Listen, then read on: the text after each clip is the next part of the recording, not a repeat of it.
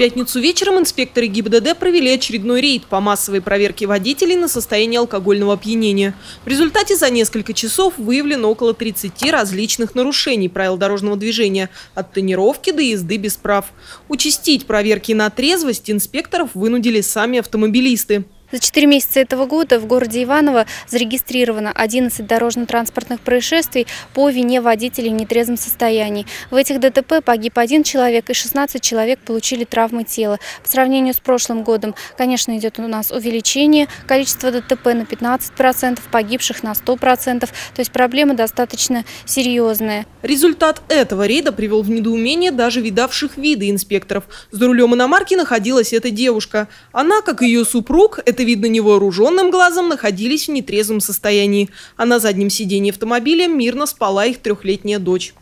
Интерес инспекторов и телекамер мать семейства только веселил. Девушка, вы сегодня выпивали?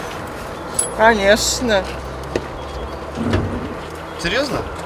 Да нет, что шучу. Супруг автоледи такому интересу к их делам семейным не обрадовался, попытался помешать съемке. У меня багаж а, ну, видите, она как бы хочет стать актрисой. Я вижу все, у меня ребенок в машине орет. Мне, мне что с этим делать? Ничего с этим Вызвать делать? такси сюда надо, вы руками поаккуратнее. Вызовите сюда такси. Поаккуратнее, я, с- я с вами хорошо с руками обращаюсь, а вот с этими ребятами плохо. Леха, это всего лишь родной ТВ.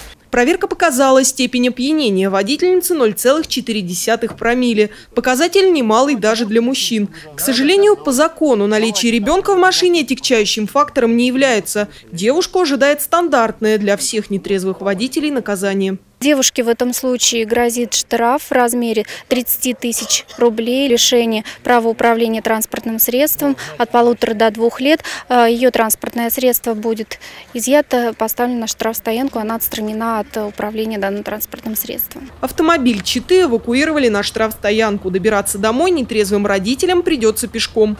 Жертвой ситуации оказалась их дочь. Но это не самое страшное, чем могла закончиться такая семейная поездка. Наталья Романова, Андрей Семиволков, РТВ Иваново.